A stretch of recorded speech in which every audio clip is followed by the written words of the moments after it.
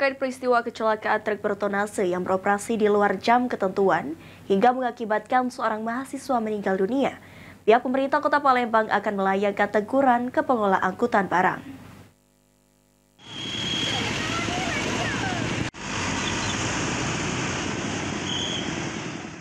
Keberadaan truk bertonase besar yang beroperasional di luar jam ketentuan yang diatur pemerintah Kota Palembang kian merusakkan.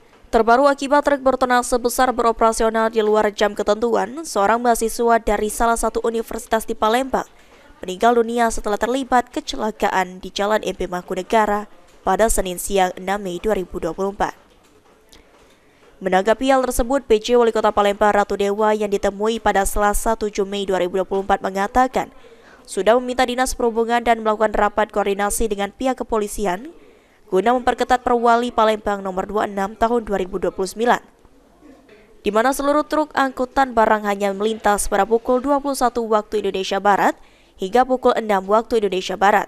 Sejauh ini pihak pemerintah Kota Palembang juga sudah beberapa kali melayangkan surat peringatan kepada perusahaan truk bertonase besar dan dengan peristiwa ini Dinas Perhubungan diminta kembali melayangkan peringatan.